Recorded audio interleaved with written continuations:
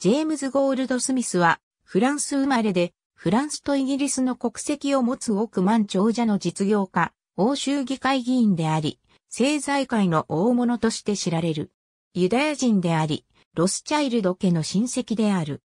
ジェームズは、オリバー・ストーン監督の、ウォール街における企業ノットリアのラリー・ワイルドマン教のモデルとなったと言われている。イギリス人ではあるが、第二次世界大戦前の1933年にフランスのパリで生まれ、父はドイツのフランクフルト出身のユダヤ人で億万長者の実業家で、保守党メンバーの国会議員でもあるフランク・ゴールド・スミスと、母はフランス人のマルセル・モーリエであり、兄は環境活動家のエドワード・ゴールド・スミスである。祖祖父は銀行家であり、トスカーナ大公の領事であったベネディクト・ハイム・サロモン、ゴールド・シュミット。祖父のアドルフ・ベネディクト・ゴールド・シュミットは1895年にロンドンにやってきた億万長者の実業家であった。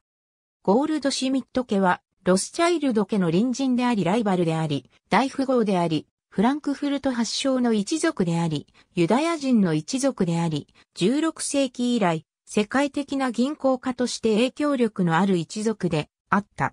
そして、父フランクは、ドイツ語のゴールドシュミットから、英語のゴールドスミスに加盟を変更した。フランクはナチスがフランス国内を通過するまでに家族と一緒に逃れなければならなかった。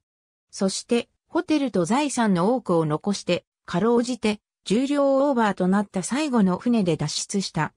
フランクと祖父はゴールドスミスとしてのビジネスを開始して家族は幸運に向かっていき豪華な生活を送り始めた。ジェームズは最初にミルフィールド校に入学し、その後、イートン校に転校した。後に、ルイスでスリーホースアキュムレーターに10ポンドをかけ、8000ポンドを勝ち取った。彼は勝利金とともに、すぐにイートンを出るべきであると決めた。彼が寄宿舎で語っていたことは、稼ぎのある男は、スクールボーイでいるべきではないという宣言だった。彼は16歳となった1949年にイートンを退学した。その後、ジェームズは陸軍に参加したとされる。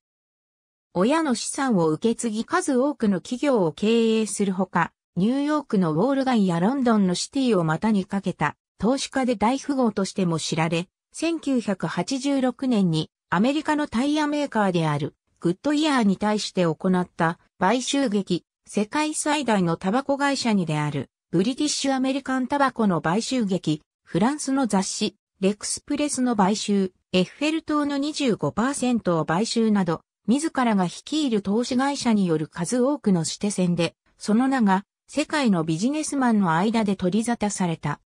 また、ヨーロッパ第3位の食品会社であるカベナムフーズを瞬く間に作り上げ、アメリカの貴金属商のハンディ・ハーマンを動かし、イギリスのマーチャントバンカーとして南アメリカに巨大な利権を持つハンブローズ銀行をパートナーとしていた。世界の富豪が脱税のために利用するカリブ海のケーマン諸島でケーマンアイランズ社の社長として君臨した。1987年のウォール街、ブラックマンデーの株価大暴落においても、絶妙のタイミングで売りに出て莫大な利益を手にした。アラブブリベ銀行の経営者とは、30年来のビジネスパートナーであった。また、ヨーロッパのみならず、世界を驚愕させた大スキャンダルであるバチカンの資金管理を行う銀行であったアンブロシアーの銀行の頭取で、秘密結社、ロッジ P2 の主要メンバーであったロベルト・カルビの暗殺事件においても関与が噂された。晩年には政治家となり、政治活動に力を置いたものの、雑誌出版社の経営にも力を入れていた。1994年に欧州議会議員のフランスの代表として選出された。そしてイギリスに短命に終わった欧州会議主義の国民投票党を設立した。1997年に、癌により64歳でスペインの病院にて死去した。ゴールドスミスの個人資産は見えているだけで数千億になるが、それも氷山の一角であると言われている。亡くなった時、トニー・ブレアは、彼は非凡なキャラクターだった。そして、私はいつも彼の政治的見解に同意しなかったのだが、明らかに彼は驚くべき、面白く、魅力的な男だったと述べた。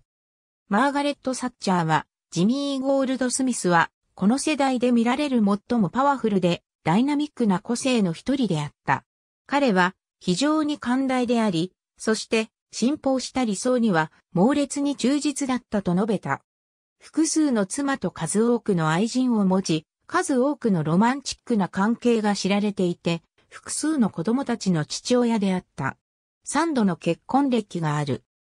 最初の妻は、アンデスのロスチャイルドと呼ばれ、世界屈指の大富豪だった、ボリビアの鉱山王シモン・パティーニョの孫で、スペイン王家の縁石にあたる少女のマリア・イサベル、パティーニョと恋仲になるが、ユダヤ人であることを理由にパディーニョ家側に大反対され、二人は駆け落ちをしたが、彼女は1954年に長女のイサベルを早産で出産した後に脳出血で急逝した。その後に再婚した二度目の妻のジネット・レイディとの間には次女のアリックスと長男のマネスの二人を設けた。すでにビュート公爵家に嫁いでいた第八代ロンドンデリー公爵の娘アナベル・ベイン・テンペスト・スチュアートとは長く不倫の関係にあり、1978年に二人は正式に結婚した。サンジョ・ジェマイマはクリケット界のスーパースターで、現在はパキスタンの政治家であるイムラン・カーンと離婚後に人気俳優のヒュー・グラントと婚約するなど、イギリスの社交界や芸能ゴシップ誌を騒がせる美人セレブとして有名な存在である。次男ザカリアスはシー・シェパードへの最大級の寄付金を援助する支援者として知られている。三男ベンジャミンはアナベルとの間の子供である。